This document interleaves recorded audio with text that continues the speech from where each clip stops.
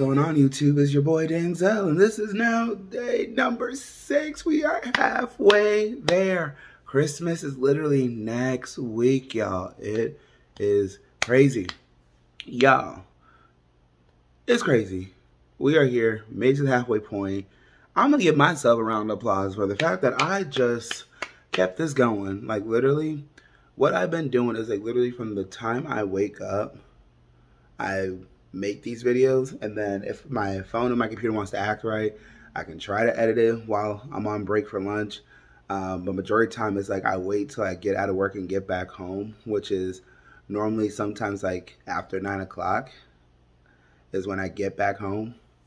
And I'm literally editing these videos just to get it out before the day ends. So that's a round of applause for me by myself. I don't care if anybody wants to give me a round of applause or not. I did it. But y'all, today's topic is self-care. Self-care is the most important care. I don't care what nobody says. If you don't have self-care, you don't have nothing. Um, because burnout is a real thing. Even with working every day, doing these videos every day, and a whole bunch of other stuff, self-care is important and you need to take care of yourself. Um, you can't continue to do what you do if you're not taking care of yourself. Like, yes, um, if you're somebody like me that likes to put others before your needs and everything like that, you will burn yourself out real quick. I've dealt with burnout throughout my entire college career um, back in Massachusetts um, because I was just always just go, go, go, go, go. Somebody needs help, I'm gonna help them. Somebody needs help, I'm gonna help them. I'm gonna volunteer for stuff. I'm gonna be involved in stuff. Like that's just who I am as a person. And when I came down to South Carolina, it was just everything kind of like was at like a standstill for a little bit because there was no well, not that there was no way for me to get involved down here um, because there is, and I'm just waiting on those communications to come from um, other people just so I can start being more involved um, within the church and just doing more stuff. But it's just like I'm kind of like at like a little bit of that standstill. But then ever since I started working, it's just more so the fact that um, I'm constantly working every single day, and then now like would be a manager. It's just like you kind of have to like do everything, and when you're dealing with new people, um, it's kind of hard to try to regulate some stuff um, and try to teach them some stuff because just like things just need to right the first time, you know. But make sure you guys take care of yourself, take care of your body, take care of your mental health, um, take care of your spiritual needs, whatever it is. Take care of you.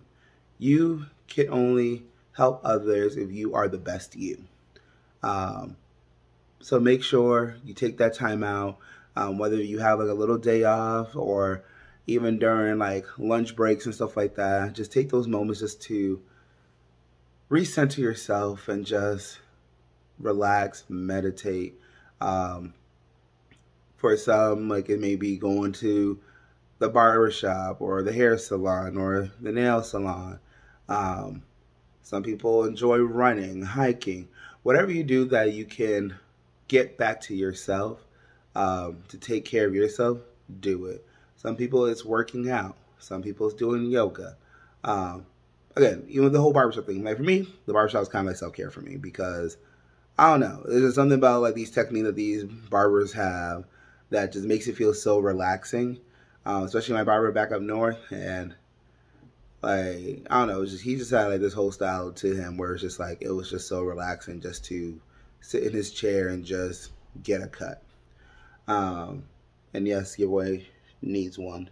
I actually just got out of the shower too, so you can kind of see like these natural curls coming up in but that's besides the point.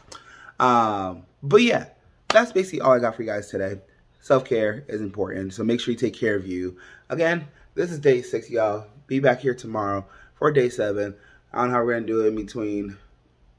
Probably might do the next video right after church. Um, see the word that the Lord gives our Pastor John Gray.